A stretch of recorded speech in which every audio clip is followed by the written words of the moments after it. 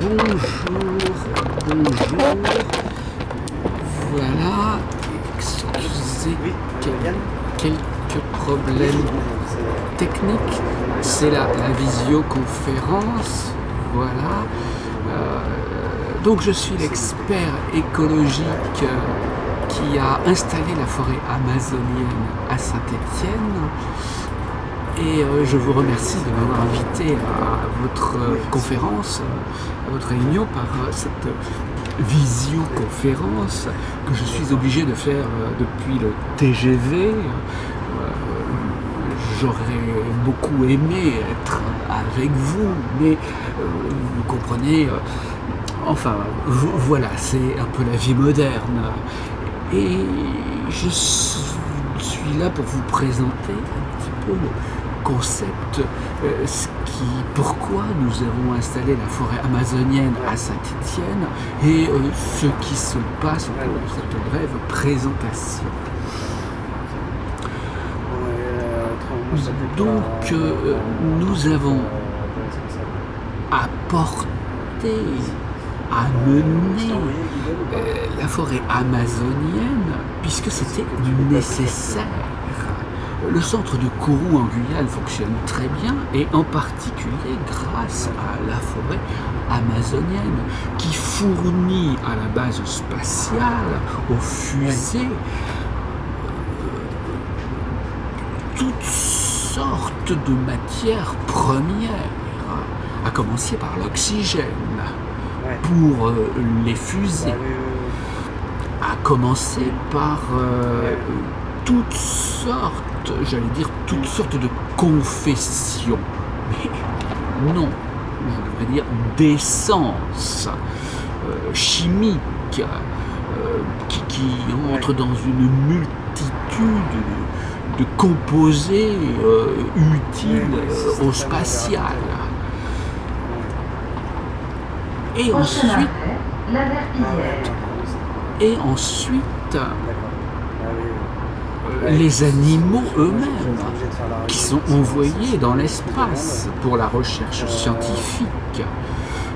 Toutes sortes d'animaux, du plus gros au plus petit, que l'on met dans les fusées et qu'on largue ensuite dans l'espace pour regarder ce qui se passe, y compris au niveau des, euh, microscopes, des microcosmes, des, des, des, euh, paramécies, des êtres unicellulaires qui, je dois dire, sont très intéressants à inté- à intégrer dans, dans, dans l'espace.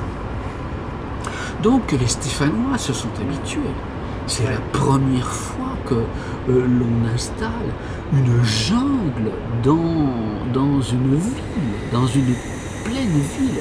Et on a mis la jungle absolument partout au-dessus de la ville.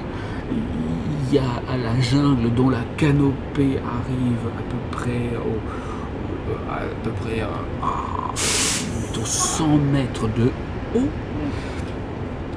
En dessous, donc la ville qui est entièrement recouverte et des lianes, des racines, des troncs ont envahi Ouais. toutes les rues, les fenêtres, les, appartements, euh, euh, tout ce qui, tout ce qui est tout ce qui, tout ce qu'on peut imaginer dans une ville, les tuyauteries, bon, euh, voilà. Et les Stéphanois se sont merveilleusement adaptés à ces nouvelles conditions.